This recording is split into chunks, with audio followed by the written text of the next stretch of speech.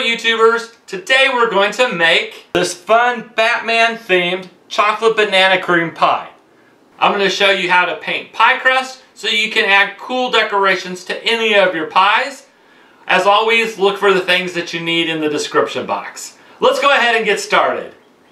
To make our pie crust cutouts, you're going to need some ready-made pie crusts, a variety of different food colors, some small letter cookie cutters, then you're going to want to get a conversation cutter.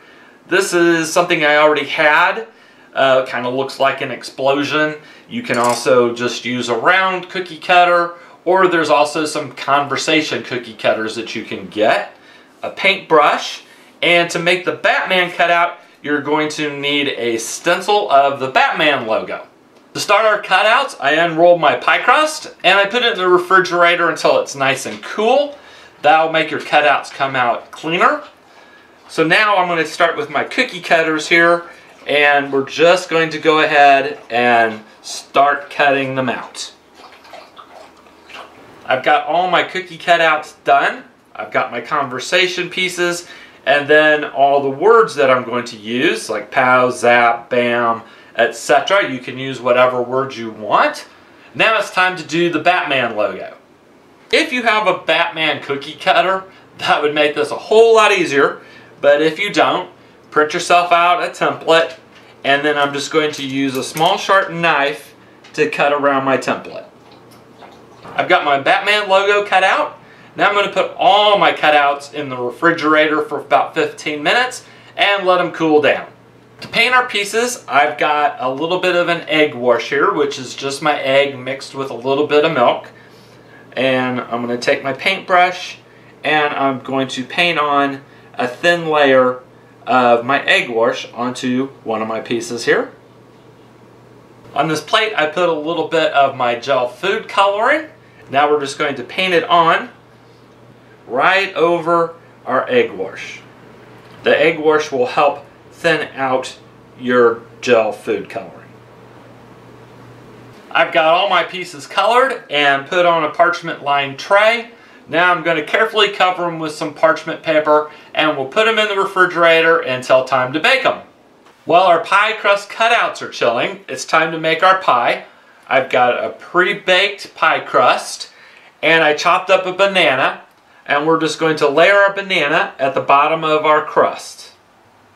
In this bowl, I microwaved a little bit of hot fudge and we're just going to drizzle that over our bananas.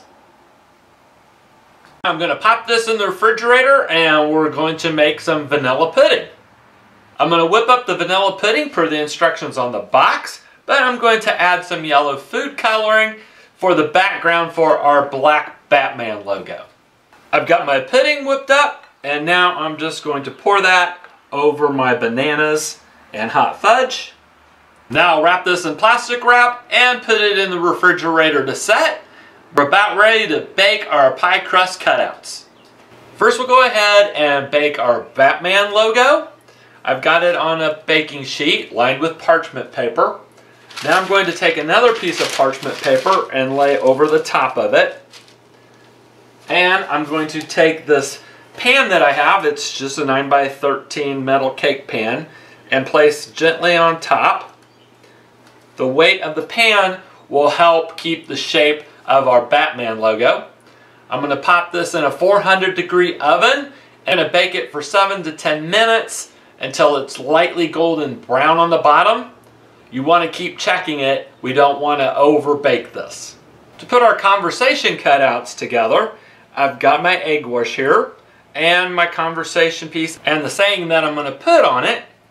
I'm going to take a little bit of egg wash on my paintbrush again and we're just going to cover our conversation piece and then carefully we're going to put our saying on. That's what we're going to do for each of our conversation pieces. Let me finish those up and then we'll be ready to put them in the oven. We're ready to pop them in the oven and we're going to do them the same way we did our Batman logo. I'm going to cover them with a piece of parchment paper and carefully set my pan on top of them. We'll pop these in the 400 degree oven for probably six to seven minutes, just until they're golden brown. Finally, to put our pie together, I'm going to take my Batman logo and I'm going to place it right in the middle of my pie. We're ready to put on our conversation pieces. And to do that, I have a can of pre-made buttercream frosting. And we'll just take some of that and put it onto the back of one of our conversation pieces. And then we'll just use that as glue and we'll stick it onto our pie crust. And there you have our Batman chocolate banana cream pie. I hope you enjoyed today's video. Please join our channel. We hope to see you back soon.